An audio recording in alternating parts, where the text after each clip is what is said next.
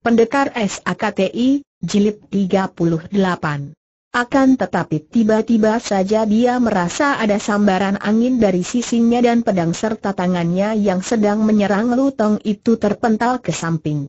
Pemuda jembel ini marah bukan main. Ia cepat melompat dan membalikan tubuh menghadapi Kuan Chu. Kau agaknya juga kaki tangan penjajah, patut dibikin mampus lebih dahulu segera dah menyerang dengan pedangnya, mainkan ilmu Hun Hai Kiam Hoat yang amat berbahaya. Kuan Chu cepat mengelak dan tertegun menyaksikan ilmu pedang pemuda jembel yang gagah perkasa ini. Oleh karena dia merasa tidak mungkin pemuda ini mainkan Hun Hai Kiam Hoat yang dikenalnya baik, ia sengaja mengelak terus sambil tetap memperhatikan gerakan-gerakan pemuda itu. Adapun Sui Cheng memandang dengan bengong. Pemuda jembel itu mengaku sebagai murid Ang Bin Sin Kai, kenapa dengan Kuan Chu mereka tak saling mengenal? Bukankah Kuan Chu juga murid Ang Bin Sin Kai? Gadis ini benar-benar merasa heran sehingga ia hanya berdiri seperti patung dan menonton mereka yang sedang bertempur. Kun Beng juga tidak ingat lagi siapa adanya pemuda yang datang melindungi lutong itu, maka dengan tersenyum dia lalu menggerakkan tombaknya dan berkata kepada Sui Cheng. Cheng Moi, biar aku binasakan dahulu pengkhianat itu, Kemudian kita membantu Hon Le membuat mampus pengkhianat yang baru datang, cepat tombaknya bergerak menusuk dada Lutong. Terang Tombaknya terpental dan Kun Beng memandang kepada Sui Cheng dengan muka pucat dan mata terbelalak. Cheng Moi, mengapa kau menangkis tombakku? Apa artinya ini? Dia itu adalah Lu Kuan Chu, seorang murid dari Ang Bin Sin Kai, bukan pengkhianat. Kita dengarkan lebih dulu apa yang hendak dia katakan maka dia mencegah kita membunuh pengkhianat ini. Kun Beng terkejut dan cepat dia memandang kepada Kuan Chu yang dengan tangan kosong selalu mengelakkan diri dari serangan pedang Hon Ye. Lu Kuan Chu bocah gundul dahulu itu tanyanya seperti kepada diri sendiri. Sementara itu, Kuan Chu menjadi makin terheran-heran karena pada saat Hon Lei yang pandai mainkan Hun Hai Kiam Hoat itu tidak berhasil merobohkannya, lalu tiba-tiba Hon Lei mengubah ilmu pedangnya, mengeluarkan ilmu pedang yang aneh bukan main, yakni dengan membuat lingkaran-lingkaran dengan pedangnya, mengurung tubuh Kuan Chu. Hei! Berhenti dulu. Siapakah kau yang sanggup mainkan ilmu pedang Hun Hai Kiam Hoat dan ilmu pedang menurut ilmu silat Tian Te Sin Choan, lingkaran sakti langit bumi, ini? Han Lei juga terkejut mendengar seruan Kuan Chu, akan tetapi pemuda ini sudah terlalu panas perutnya karena sampai begitu jauh dia belum berhasil merobohkan pemuda yang bertangan kosong itu. Tanpa menjawab dia mempercepat gerakan pedangnya. Akan tetapi dia terkejut sekali karena lawannya lalu bergerak mengikuti serangannya dan tiba-tiba saja lawannya itu mendahului gerakannya yang agaknya sudah dimengerti betul oleh lawannya, lalu tahu-tahu gagang pedangnya kena dicengkeram dan dirampas. Nanti dulu, kau siapakah? Dan dari mana kau bisa mendapatkan ilmu pedang Hun Hai Kiam Hoat? Dari mana pula engkau dapat memainkan ilmu pedang berdasarkan Tian Te Sin Choan? Hayo jawab muka Kuan Chu menjadi tegang. Han Le kaget bukan kepalang melihat betapa setelah membalas serangan-serangannya, lawannya dengan satu kali gebrakan saja telah berhasil merampas pedangnya. Ia masih penasaran, maka cepat tangan kanannya memukul dada Kuan Chu. Pukulan ini dahsyat sekali dan hawa pukulan ini pun menurut petunjuk daripada ukiran-ukiran di dalam gua Wat Pulau Pek Hiotu. Kuan Chu cepat melompat ke belakang beberapa kaki jauhnya. Kau pernah apakah dengan suhu Ang Bin Sin Kai? Dan bagaimana kau bisa memainkan ilmu silat yang terdapat di Pulau Pek Hiotu kembali Kuan Chu mendesak. Mendengar ini Han Le menjadi pucat. Dia berdiri seperti patung dengan mata terbelalak. Kau, kau siapakah? Aku murid Ang Bin Sin Kai, Lu Kuan Chu namaku. Han Le mengeluarkan teriakan girang lalu dia menubruk dan berlutut di depan Kuan Chu, memeluk kedua kaki pemuda itu. Aduh, Su Heng. Su Heng Lu Kuan Chu yang sudah lama ku cari-cari. Tidak ku sangka dapat bertemu di sini. Harap Su Heng mengampunkan kekurang ajaranku, katanya. Kuan Chu memegang kedua pundak Hon Le dan sekali dia menggerakkan tangannya, Meskipun Han Lei sudah mengerahkan lekangnya, tetap saja pemuda jembel ini kena ditarik naik dan terpaksa berdiri. Hayo bilang, kau siapa? Jangan main-main seru Kuan Chu. Xiao Te adalah murid Ang Bin Sin Kai pula.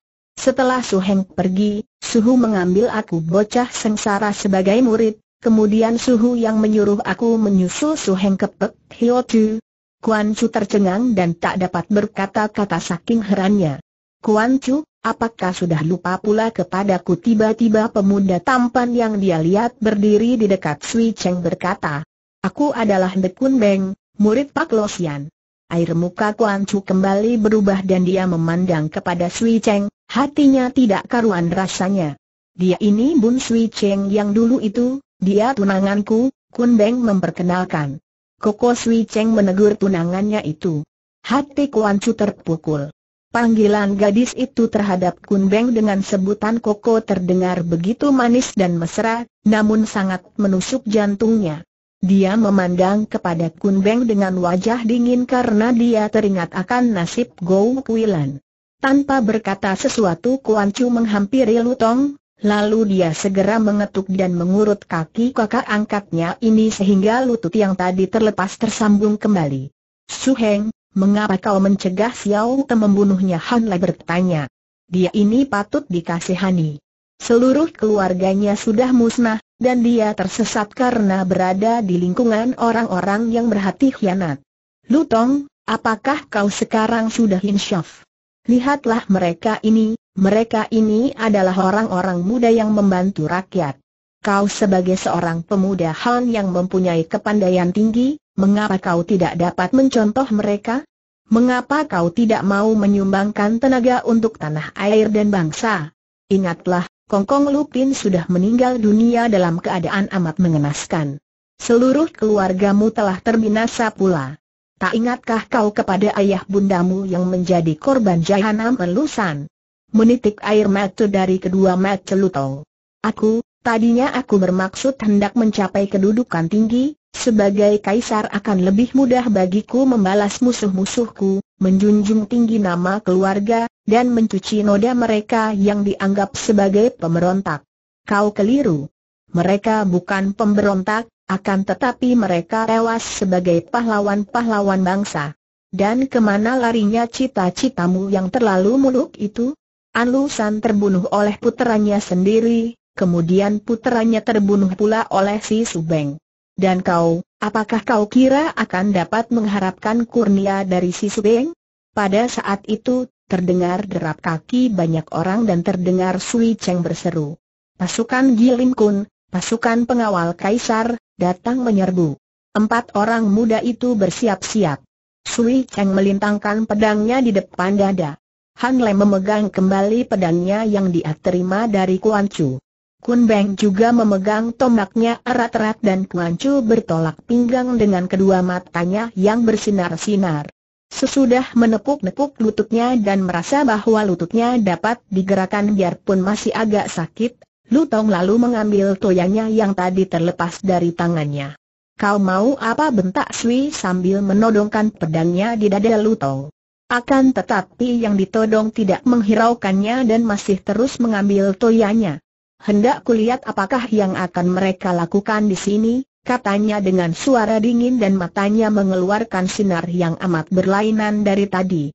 Lutong, keturunan pemberontak, menyerahlah.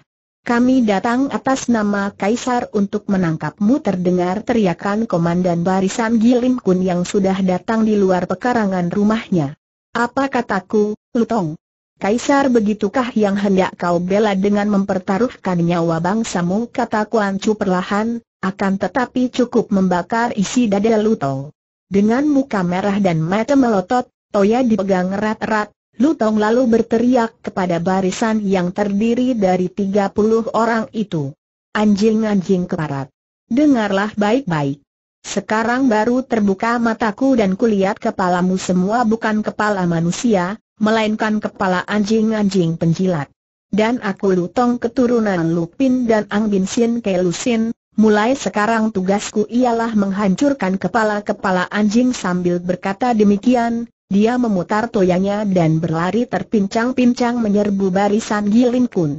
Kuan Chu segera menyusulnya, setelah melirik ke arah Sui Cheng, Han Le, dan Kun Beng dengan pandang mata penuh hati. Ketiga orang muda ini saling pandang dan diam-diam mereka membenarkan pembelaan Kuan Chu terhadap Lu Tong tadi, karena sekarang ternyata Lu Tong yang hianat telah sekaligus berubah menjadi Lu Tong yang mengandung penuh dendam terhadap kaum penjajah yang sudah memusnahkan seluruh keluarga. Mereka pun lalu berlari menyusul kemudian memutar senjata mengamuk dan menyerbu barisan Gilin Kun. Mana bisa barisan Gilim Kun kuat menghadapi lima orang muda ini? Mereka ini adalah orang-orang muda murid tokoh-tokoh yang sakti, yang mempunyai kepandaian luar biasa sekali. Biarpun barisan Gilim Kun terdiri dari ahli-ahli silat yang pandai, akan tetapi menghadapi serbuan lima orang muda yang sakti ini, sekejap saja mereka menjadi kocar-kacir. Mayat bergelimpangan di sana-sini, sungguh amat mengerikan. Yang paling hebat amukannya adalah Lutong. Toyanya menyambar-nyambar dengan ganas dan sedikitnya ada lima orang anggota Gilim Kun yang pecah kepalanya terkena pukulan toyanya. Di antara mereka semua, hanya Kuan Chu seorang yang lain lagi sepak terjangnya. Dia tidak tega menjadi pembunuh para alat negeri ini. Entah karena terdorong oleh keinginan mendapatkan harta, ataupun terkena tipuan dan bujukan maka mereka menjadi barisan Gilin Kun. Oleh karena itu, pemuda ini hanya bergerak dengan tangan kosong saja dan dia cukup puas asalkan dapat menotok roboh mereka itu tanpa membahayakan nyawa mereka. Han Le agaknya juga tidak begitu jam sebab pedangnya hanya merobohkan orang dan melukainya tanpa mematikan lawan. Sebaliknya, Sui Cheng benar-benar seperti gurunya. Setiap kali pedangnya bergerak, seorang anggota Gilim Kun menjerit kesakitan dengan lengan putus, kaki putus, bahkan ada yang lehernya putus.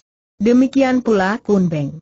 Dia juga mengamuk, akan tetapi pemuda ini tidak seganas Sui Cheng atau Lu Tong. Akan tetapi, lima orang jago muda ini mengamuk di tengah-tengah kota raja dan hal ini bukanlah merupakan pekerjaan main-main yang mudah saja. Tak lama kemudian, di situ telah datang barisan baru yang jauh lebih kuat daripada barisan Gilim Kun yang sudah dapat diobrak-abrik, sebab barisan ini adalah barisan Siwi, yaitu pengawal pribadi kaisar dan dipimpin pula oleh Kiam Ki Sian Jin bersama panglima-panglima yang berkepandaian tinggi. Pertempuran berjalan semakin hebat. Kuan Chu mengetahui bahwa bagi keempat orang kawannya, Kiam Ki Sian Jin terlampau tangguh. Maka dia segera mencabut sulingnya dan menghadapi kakek ini. Akan tetapi tetap saja empat orang kawannya menjadi terkurung seperti tadi, dan terpaksa bersilat cepat untuk melindungi tubuh daripada hujan senjata lawan yang amat banyak jumlahnya itu. Akan tetapi, sebagai ahli-ahli silat tinggi, mereka otomatis tahu bagaimana caranya untuk melayani keroyokan yang demikian banyaknya. Tanpa ada yang mengomando, mereka otomatis berkelahi berdekatan satu sama lain, bahkan lalu membuat lingkaran dengan punggung dihadapkan kepada kawan sendiri sehingga mereka merupakan lingkaran segi empat yang tak dapat diserang dari belakang. Dengan jalan ini, Lutong, Sui Cheng, Kun Beng dan Hon Lei mampu mempertahankan diri dengan kuatnya, bahkan kadang-kadang terdengar pekik orang dan terjungkalnya seorang anggota Siwi. Namun, Sui Cheng amat kecewa tidak melihat Kuan Chu berada di lingkaran mereka itu. Hal ini adalah karena Kuan Chu sengaja menghadapi Kiam Kisian Jin, mencegah kakek ini ikut menyerang empat orang kawannya. Sui Cheng mengira bahwa karena kepandaiannya tidak tinggi, Kuan Chu sudah tertawan atau melarikan diri. Dia menggigit bibir dengan gemas kalau memikirkan bahwa pemuda itu sudah melarikan diri meninggalkan kawan-kawannya. Dia tidak tahu bahwa kepandaian Kuan Chu sudah tinggi sekali. Kemenangan Kuan Chu atas Han Le tadi tidak membuat dia merasa heran karena sebagai murid-murid seguru, tentu saja Kuan Chu sudah mengetahui semua cara bersilat dari Han Le sehingga dapat memenangkannya. Demikian pula Kun Beng yang sama sekali tidak mengira bahwa Kuan Chu mempunyai kepandaian tinggi. Hanya Han Le dan Lu Tong yang mengetahuinya baik-baik. Lutong yang sudah pernah merasai kelihayan Kuan Chu, adapun Hon Lei lebih-lebih lagi. Tidak saja dia telah dapat menduga bahwa suhengnya yang sudah tinggal di Pulau Pek itu itu telah mempelajari ilmu kesaktian yang luar biasa, juga tadi dia sempat merasakan sendiri kehebatan kepandaian suhengnya. Makin lama kurungan itu makin rapat. Pihak pengeroyok memang luar biasa banyaknya. Roboh satu datang dua, roboh lima datang sepuluh. Empat orang jago muda itu sudah bertempur tiga jam lebih dan mereka mulai lelah sekali. Apalagi Lutong. Lututnya terasa sakit sehingga gerakannya menjadi semakin lambat. Akhirnya sebuah tusukan tombak melukai pahanya dan dia pun terhuyung-huyung roboh. Baiknya Han Lei cepat-cepat menyambar tangannya dan menariknya ke dalam lingkaran, sehingga tubuh Lutong terlindung oleh tiga orang muda itu. Di lain pihak, Kuan Chu yang tadinya menghadapi Kiam Ki Sian Jin, sekarang ternyata telah dikeroyok tiga orang, yakni Kiam Ki Sian Jin sendiri beserta dua orang panglima yang lihai sekali ilmu goloknya. Kuan Chu terus melayani mereka dengan gagah dan sedikit pun tak terdesak, bahkan pada jurus ke-50 lebih, dia berhasil merobohkan salah seorang panglima dengan pukulan-pukulan Pek In Hoatsut. Akan tetapi, sebagai gantinya datang pula dua orang panglima lain, sedangkan Kiam Ki Sian Jan masih terus melawannya dengan amat kuatnya. Kali ini agaknya tak mudah bagi Kuan Chu untuk mengalahkan Kiam Ki Sian Jin. Sui Cheng, Kun Beng dan Hon Lei sudah lelah dan mulai terdesak. Biarpun korban pihak musuh yang jatuh tidak terhitung banyaknya, namun setiap kali ada yang jatuh, mereka yang jatuh diangkat pergi dan sebagai gantinya datang pengeroyok-pengeroyok lain yang masih segar dan memiliki kepandaian silat tinggi juga. Tiga orang muda ini maklum bahwa kalau diteruskan, mereka pasti akan celaka semua. Sekarang mereka tidak begitu mudah lagi menjatuhkan lawan, karena para pengeroyok ini terdiri dari orang-orang yang kepandaiannya sudah mencapai tingkat lumayan. Kuan cuma pula akan hal ini. Tiba-tiba saja pemuda ini menyimpan sulingnya dan ketika dua orang panglima menyerang dari kanan kiri dan Kiam Ki Sian Jin mendesak dari depan, dia melayani dua orang panglima yang bergolok itu dengan ilmu silat Kong Chiak Sin Na, sedangkan terhadap Kiam Ki Sian Jin dia melancarkan beberapa pukulan Pek In Hoatsut. Tosu itu sudah cukup mengenal kelihayan lengan tangan yang mengebulkan uap putih itu. Maka, Cepat-cepat dia menjatuhkan diri untuk menyimpan napas dan mengerahkan lewekang agar dia cukup kuat menghadapi serangan ilmu pukulan Pek In Hoatsut. Akan tetapi, dua orang panglima itu yang belum mengenal Kuan Chu secara baik, terus mendesak pemuda itu. Dan sebelum mereka tahu bagaimana terjadinya, pundak mereka telah terkena cengkeraman Iimu Silat Kong Chiak Sinna dan golok mereka terlempar pula. Kuan Chu tidak mau berlaku kepalang tanggung. Ia lalu mengangkat tubuh dua orang ini, yang seorang dia lemparkan ke arah Kiam Ki Sian Jin dan menggunakan kesempatan itu untuk memutar-mutarkan orang kedua dan membobolkan kepungan yang mengurung tiga orang kawannya yang masih melawan mati-matian. Kawan-kawan, mari kita lekas pergi katanya setelah berhasil menyerbu dan memasuki kurungan.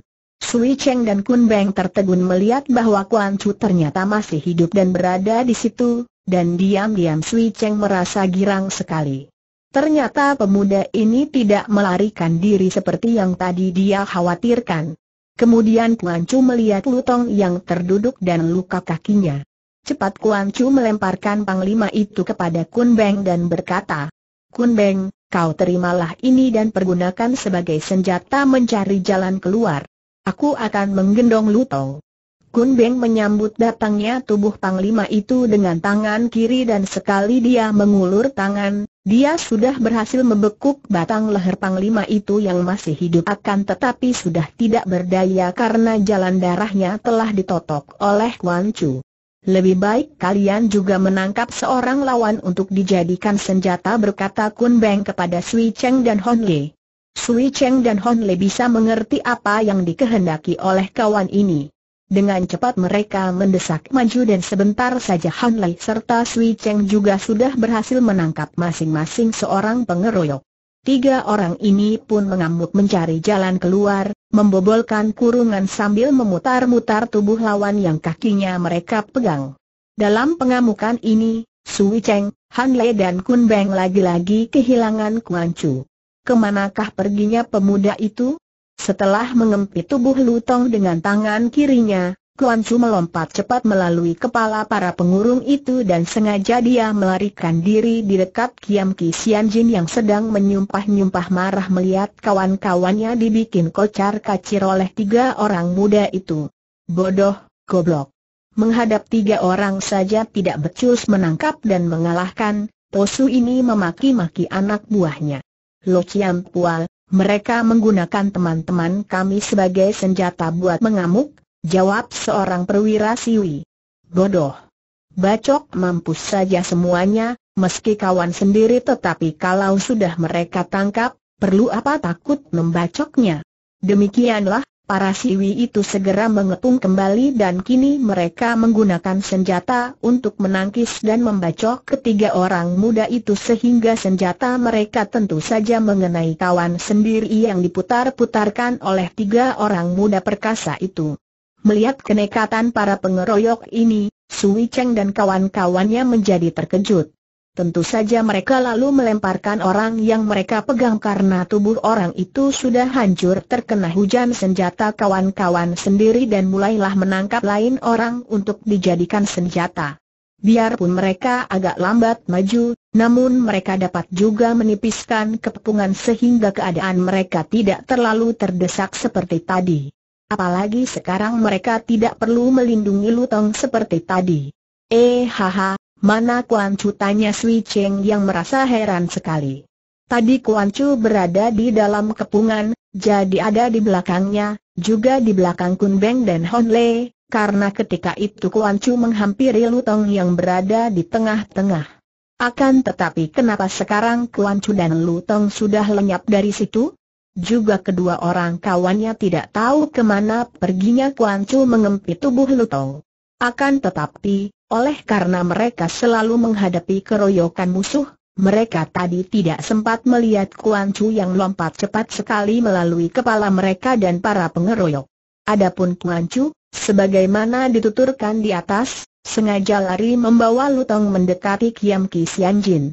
Tentu saja melihat pemuda itu mengempit tubuh Lutong, Kiam Ki Sian Jin cepat mengejar dengan pedang di tangan. Bangsat Lu Kuan Chu, ternyata engkau hendak mati-matian membela pemberontak itu serunya. Kuan Chu tersenyum sindir. Kiam Ki Sian Jin, orang ini adalah keturunan Menteri Lupin, bagaimana aku tak akan membelanya? Pemuda ini menyimpan sulingnya dan sekarang tahu-tahu tangannya sudah memegang sebatang pedang yang bersinar gemilang. Inilah Liong Choan Kiam, pedang peninggalan Menteri Lupin yang sengaja diberikan kepadanya. Kiam Ki Sian Jin tertegun dan merasa agak jari. Baru sekarang dia melihat pemuda ini memegang pedang. Biasanya, hanya dengan tangan kosong atau paling-paling dengan sebatang suling di tangan, pemuda itu sudah terlampau tangguh baginya, apalagi kalau sekarang memegang sebatang pedang mustika. Kiam Ki Sian Jin, Apakah kau tidak melihat siapa adanya pendekar-pendekar muda itu? Lihatlah baik-baik, gadis perkasa itu adalah murid tunggal dari Kiu Bwe Ali, pemuda bertombak itu adalah murid terkasih dari Pak Lo Sian Siang Kuan Hai, adapun pemuda sederhana itu adalah Suteku. Aku tanggung bahwa kalau kau terus mengurung mereka, semua anak buahmu akan hancur lebur. Dan bukan itu saja, kalau saja mereka sampai terluka, tentu para Lociampu itu akan bersumpah membalas dendam kepadamu. Habis, apa kehendakmu tanya Kiam Ki Jin memandang tajam. Kalau kau hendak menghalangi mereka lari, kau tahu bahwa aku akan menyerangmu mati-matian dan mungkin sekali aku akan dapat menewaskan engkau. Akan tetapi kalau kau mau melepaskan mereka lari, kita kelak akan dapat bertemu pula dan aku tak akan melupakan maksud baikmu hari ini. Sampai beberapa lama Kiam Ki Jin terdiam saja, matanya memandang ke arah tiga orang muda yang tengah mengamuk hebat mencari jalan keluar. memang sepak terjang mereka hebat luar biasa dan sekarang pun para anak buahnya sudah mulai kocar kacir. Akhirnya dia mengangguk dan Kuan Chu girang sekali. Terima kasih, Kiam Ki Jin. Kau ternyata berpemandangan jauh, dia lalu membawa Lutong melompat ke barat. Sui Cheng, Kun Beng dan Sute. Lari melalui pintu barat.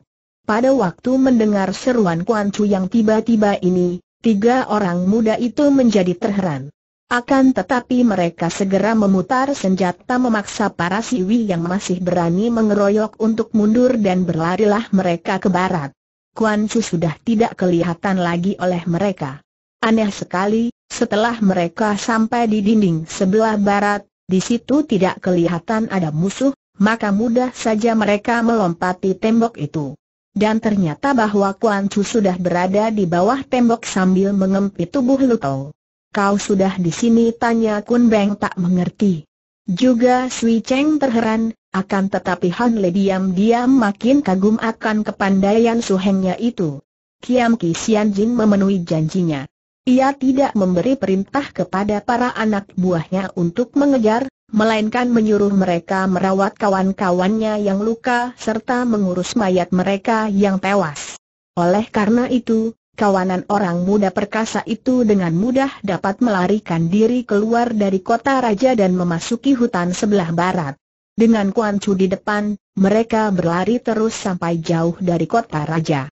Kemudian mereka berhenti dan Kuan Chu segera mengambil sapu tangan untuk membalut luka di paha Lutong dan setelah mengurut serta menotok jalan darah di kaki pemuda ini, Lutong dapat berdiri dan berjalan pula, meskipun pahanya yang terluka itu masih terasa amat sakit.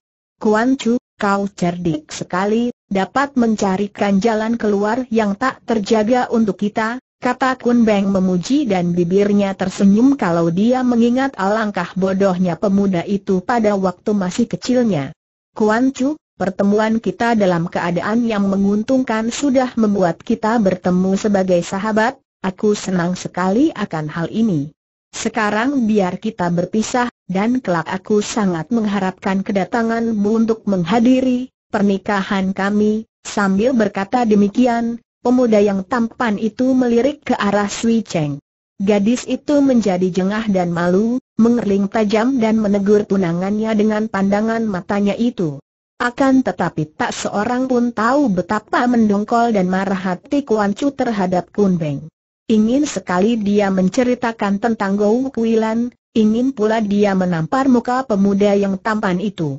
Akan tetapi Kuan Chu dapat menekan nafsunya dan dia hanya tersenyum dan mengangguk tanpa menjawab sesuatu. Cheng Moi, marilah kita pergi, ajak Kun Beng kepada Sui Cheng dengan suara mesra. Ke, manakah? Aku, aku hendak kembali mencari Sutai. Hendak menemui Kiu Bwe Chow Ali Sutai? Baiklah, marilah kita bersama menjumpainya, Memang perlu kita memberitahukan kepada gurumu tentang penetapan hari pernikahan. Sui Cheng makin merah mukanya.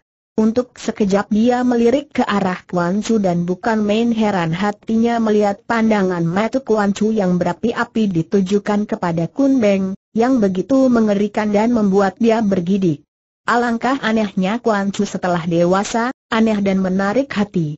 Akan tetapi pandang matu itu mengandung kebencian yang hebat dan Sui Cheng merasa tidak enak hati. Marilah, katanya perlahan dan ia lalu melompat tanpa berpamit kepada Kuan Chu atau yang lain-lain, sedangkan Kun Beng juga melompat menyusul dengan wajah berseri-seri. Kuan Chu menggigit bibirnya dan mengepal tinjunya, memandang ke arah perginya kedua orang itu tanpa bergerak seperti patung. Lutong yang kini sudah terbuka matanya dan sadar akan kesesatannya, duduk memisahkan diri di bawah pohon. Dia merenung sambil kadang-kadang menggigit bibir atau mengepalkan tinju. Wajahnya pucat laksana seorang yang kehilangan semangatnya. Suheng, Han Lei menegur Kuan Chu yang masih berdiri seperti patung itu. Kuan Chu tersadar dan cepat menoleh. Wajahnya amat merah ketika dia melihat pandang mata pemuda itu. Mata itu seakan-akan dapat membaca isi hatinya. Suheng, mengapa kau kelihatan berduka? Kuan Chu benar-benar menjadi sadar dan dengan tersenyum dia lalu memegang lengan pemuda itu. Tidak apa-apa, Sute. Sekarang kau ceritakanlah bagaimana kau dapat menjadi murid suhu, semenjak kapan kau belajar ilmu silat kepada suhu dan bagaimana pula kau bisa memainkan ilmu silat yang hanya terdapat di atas pulau Pahu itu. Karena melihat Lutong masih duduk melamun seorang diri, kedua orang pemuda ini lalu duduk di atas batu dan berceritalah Honye. Aku adalah seorang anak sengsara. Kedua orang tuaku menjadi korban perang dan mereka tewas oleh bala tentara pemberontak Anlusan. Baiknya ketika aku sedang dikeroyok oleh bala tentara pemberontak dan hampir mengalami kebinasaan, datanglah Suhu yang menolongku. Hal itu terjadi tidak lama setelah kau berpisah dari Suhu. Suhu lalu mengambil murid kepadaku. Sebelum itu aku adalah anak murid dari Kun Lun Pai, dan karena semenjak kecil aku sudah belajar ilmu silat, tidak sulit bagiku untuk menerima gemblengan dari suhu. Kemudian, Suhu mendengar tentang jatuhnya pemerintahan Teng dan didudukinya kerajaan oleh Anlusan. Suhu marah dan hendak memberi hajaran kepada orang-orang Kengou yang membantu pemberontak itu. Aku hendak ikut, akan tetapi dilarangnya dengan alasan bahwa kepandaianku masih jauh daripada mencukupi untuk berhadapan dengan para tokoh Kengou itu. Bahkan suhu lalu menyuruhku untuk menyusulmu ke pulau Pekau itu. Akan tetapi ketika tiba di pulau itu, kau tidak ada dan aku mendapatkan ukiran-ukiran di dalam goa. Karena tertarik aku lalu berlatih seorang diri mempelajari semua ukiran itu dan mendapat kenyataan bahwa semua itu merupakan pelajaran ilmu silat yang luar biasa sekali, akan tetapi sukar sekali dipelajarinya. Su Heng, melihat ilmu silatmu, agaknya kau sudah bisa memecahkan semua rahasia dari pelajaran itu, bukan? Kuan Chu mengangguk. Sute, ilmu silatmu sendiri sudah sangat tinggi dan baik. Tidak mudah untuk memecahkan rahasia ilmu silat itu, karena ketahuilah bahwa lukisan-lukisan itu merupakan petunjuk dari ilmu-ilmu silat yang terdapat di dalam kitab Im Yang Butek Chin Keng. Berseri wajah Hon Lei yang tampan. Ah, kalau begitu benar kata Suhu. Suheng telah mewarisi ilmu silat dari Im Yang Butek Chin Keng wajahnya bersinar penuh kekaguman. Kuan Chu menarik napas panjang.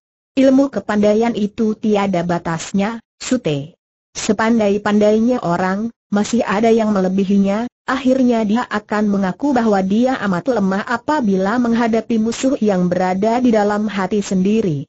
Kuan Chu termenung dan dia teringat akan Sui Cheng.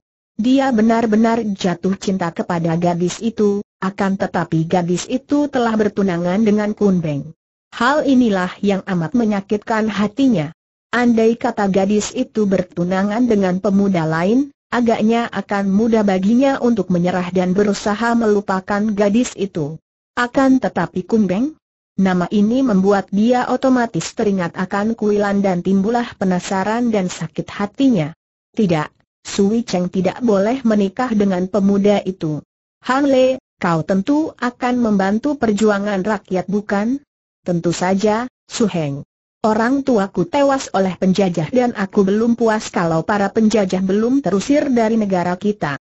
Bagus, kalau begitu kau bawalah Lutong. Obat satu-satunya bagi dia adalah berjuang membela tanah air dan bangsanya untuk menebus kesesatannya. Kuan Chu lalu menghampiri Lutong, diikuti oleh sutenya. Lutong sudah sadar dari lamunannya dan dia memandang kepada Kuan Chu dengan bibir tersenyum pahit. Kuan Chu, kau tentu cinta kepada Sui Cheng, bukan?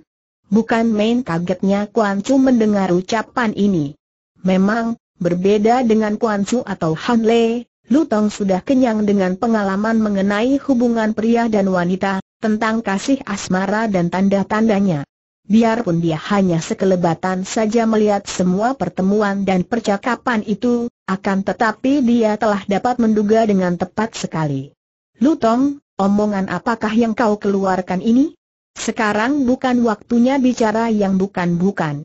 Sebaliknya aku hendak bertanya kepadamu, apakah sekarang kau sudah insyaf betul-betul dan sadar bahwa yang sudah-sudah kau telah tersesat sangat jauh? Lutong menarik napas panjang. Memang aku bodoh dan mudah sekali tertarik oleh kedudukan dan harta, Kuan Chu. Akan tetapi, apalagi yang mampu kulakukan sekarang?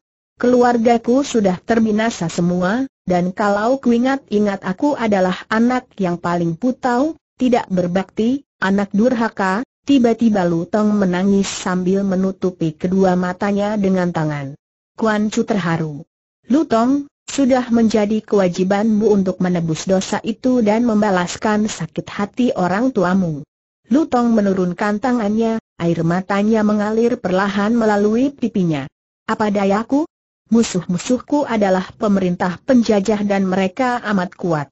Baru menghadapi pasukan Siwi saja, aku sudah terluka, apalagi kalau menghadapi barisan penjajah? Lagi pula, di sana ada orang-orang sakti seperti Kiam Ki Jin dan lain-lain. Kau tidak berdiri sendirian, Luto. Di pihak kita pun ada ratusan laksa rakyat yang berjuang dengan penuh dendam terhadap penjajah. Sukakah kau membantu perjuangan mereka? Membantu para pemberontak? Nah, itulah kepicikanmu, Luto. Memang, pejuang-pejuang itu disebut pemberontak oleh penjajah, akan tetapi bagaimana mungkin orang-orang gagah yang membela tanah air dan bangsa dari tindasan penjajah asing disebut pemberontak? Insyaflah bahwa para pejuang rakyat itu sudah dibikin sakit hati oleh penjajah. Lutong melompat bangun. Kau benar, Kuan Chu. Baik, aku bersedia untuk membantu perjuangan rakyat dengan taruhan nyawaku. Kuan Chu sebaliknya menjadi gembira sekali. Bagus, kalau begitu kau sungguh-sungguh saudaraku. Kau ikutlah dengan suteku ini dan dia akan membawamu ke tempat rakyat yang sedang menyusun kekuatan untuk menumbangkan kekuasaan penjajah. Kelak aku akan menyusul. Maka berangkatlah Lutong dan Hon Le, menuju markas pasukan pejuang rakyat yang terdekat, karena sebelum pergi ke kota raja, memang Hon Lei sudah dengan aktif sekali membantu para pejuang ini. Adapun Kuan Chu sendiri, tadinya dia berniat untuk menyusul perjalanan Sui Cheng dan Kun Beng. Ingin sekali dia mencegah mereka melakukan perjalanan bersama. Dia ingin sekali membongkar rahasia Kun Beng di depan Sui Cheng, agar gadis yang dicintanya itu tahu betapa buruk watak tunangannya, yang sudah merusak kehormatan seorang gadis yang menjadi adik dari suhengnya sendiri. Akan tetapi, dia teringat akan tugas-tugasnya, yakni membalas sakit hati guru dan kongkongnya. Urusan pribadi harus dikesampingkan, pikirnya dengan hati getir. Lebih dulu aku harus mencari mereka yang sudah menewaskan Suhau, Kemudian aku akan mencari keturunan An Lusan yang tinggal seorang itu, yakni An Kai Seng. Kuan Chu teringat akan tantangan Pek Eng Sian Jin, maka dia segera berangkat menuju ke Bukit Lengsan. Tadinya memang dia sudah mengeluarkan nama Pek Eng Sian Jin dari daftar orang-orang yang hendak dibalasnya karena membunuh suhunya. Hal ini karena dia sudah mendengar sumpah Pek Eng Sian Jain bahwa Tosu ini tidak turut mengeroyok dalam pembunuhan Ang Bin Sin Kai. Akan tetapi, sebaliknya Pek Eng Sian Jin merasa terhina dan menantangnya untuk datang ke Lengsan. Jika dia tidak meladeni tantangan yang diucapkan di hadapan tokoh-tokoh besar seperti Kiam Ki Sian Jin, Dianti Ho Siang, dan Binti Sian Su, tentu namanya akan jatuh sebagai seorang muda pengecut. Aku harus memenuhi tantangannya lebih dulu, barulah aku akan mencari tempat tinggal Jeng Kin Jiu Kak Tong Tai Su, Hek Ihwi Mo Tian Seng Hoa Sio, dan Siluman Toat Beng Hui Ho, di Kimya. Selesai berpikir demikian, Kuan Chu lalu berlari cepat sekali ke selatan. Di Bukit Lengsan, Pek Eng Sian Jin sudah bersiap-siap menunggu kedatangan Kuan Chu, pemuda yang telah menghinanya di depan para tokoh besar. Di pegunungan ini, Pek Eng Sian Jin sudah kehilangan empat orang saudaranya yang terbunuh mati oleh Pak Lo Sian Siang Kean Hai dan Ang Bin Sin Ke Lusin, dan sekarang sudah membentuk pula sebuah perkumpulan yang diberi nama Pek Eng Kau Hwe, Perkumpulan Agama Garuda Putih.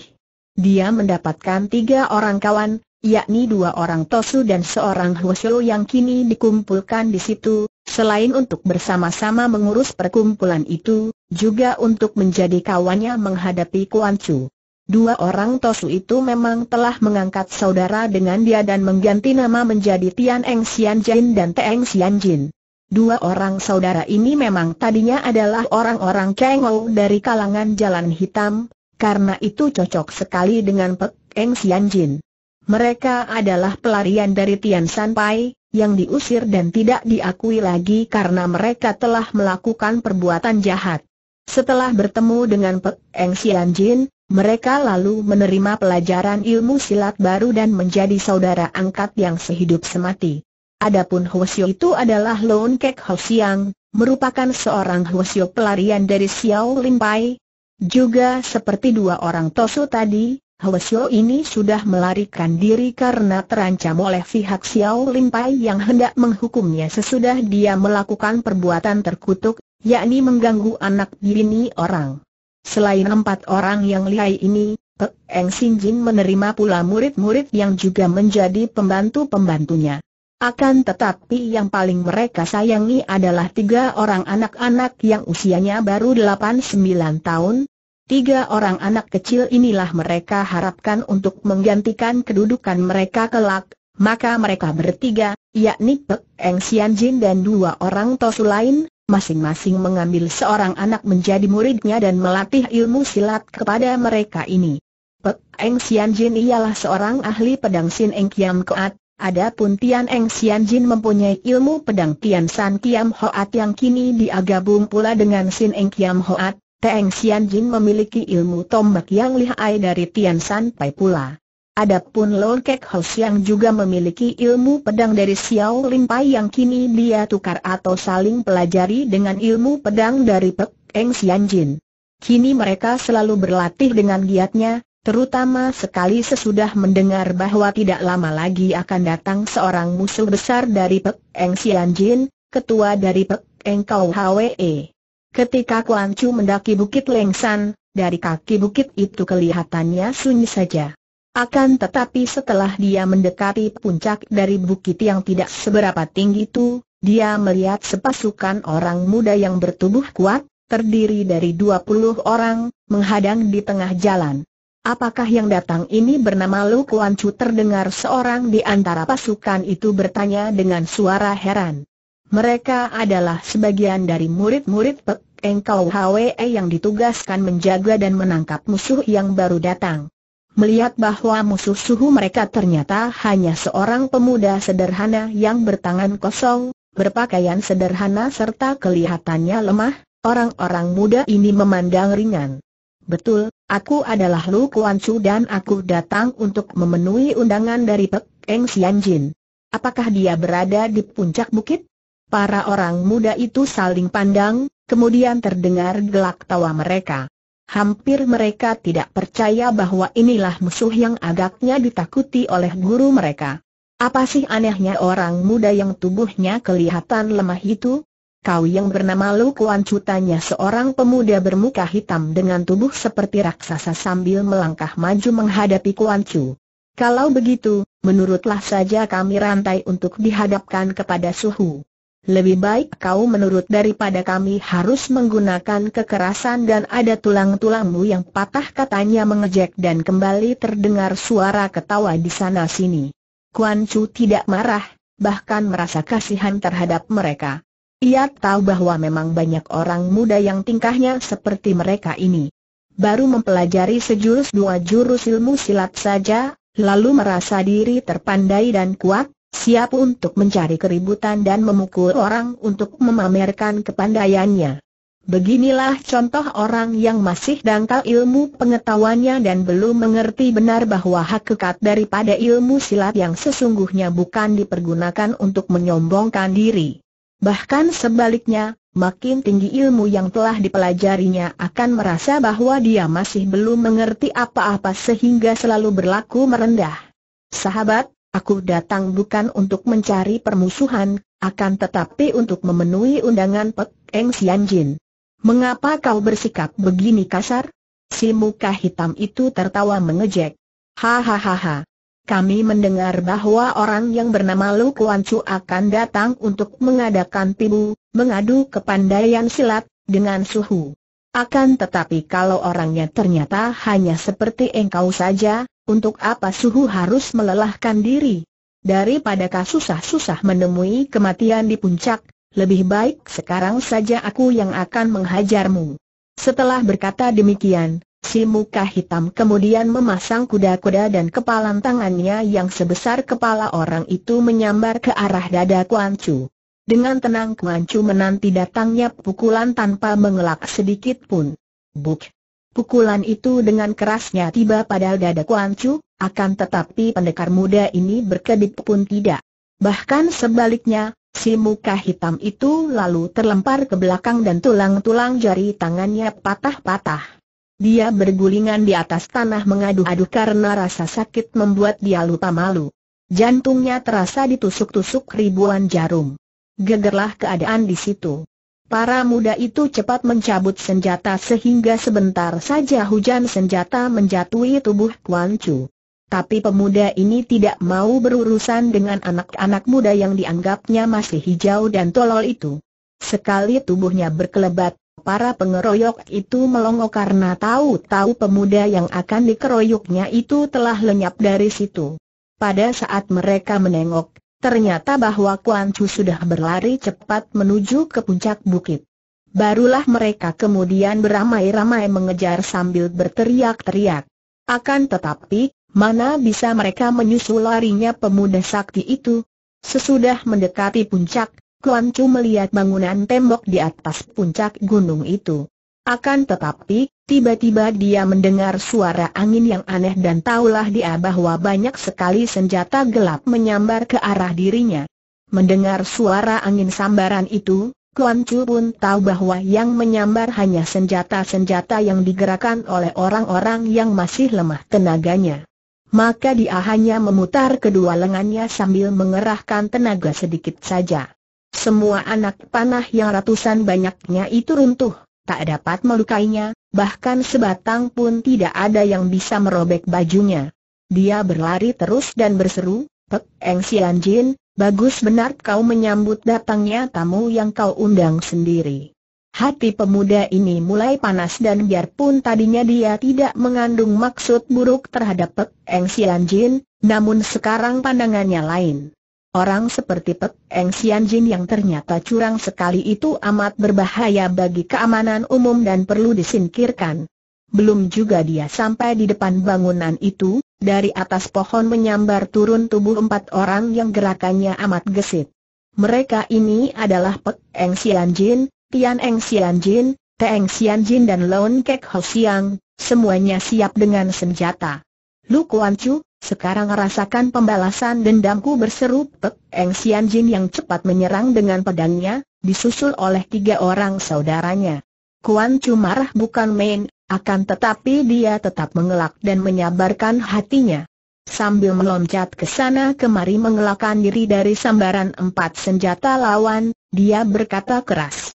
Pek Eng Sian Jin, insyaflah kau. Aku telah mengampuni nyawamu karena kau bersumpah tidak ikut membunuh guruku.